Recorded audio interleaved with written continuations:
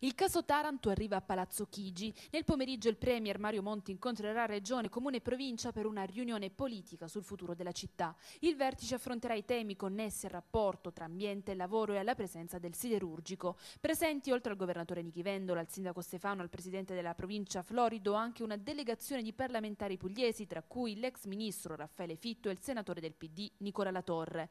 L'emergenza Taranto diventa di fatto caso nazionale. Sul tappeto le richieste di una legge speciale per la città, certo e le bonifiche, ma anche la possibilità di prevedere un risarcimento per lo sfruttamento intensivo del territorio da parte delle aziende di Stato, dalla cantieristica navale al siderurgico. Le associazioni ambientaliste intanto lamentano di non poter partecipare, anche dopo aver espressamente richiesto di prendere parte, tavoli in cui si prenderanno decisioni, in una conferenza stampa hanno rilanciato i risultati della perizia del GIP sul tasso di mortalità connesse alla presenza del siderurgico. In contemporanea alla riunione di governo i Verdi hanno annunciato in sit-in in piazza Montecitorio, escluse dall'incontro anche le rappresentanze sindacali, fatto questo criticato dal segretario nazionale della UI Luigi Angeletti che sulla contrapposizione tra lavoro e ambiente ha aggiunto lo sviluppo di Taranto non può assolutamente prescindere dal futuro dell'industria a partire dall'Ilva, il più grande stabilimento siderurgico europeo. Per questo resta un errore non coinvolgere le parti sociali territoriali in un confronto con il governo.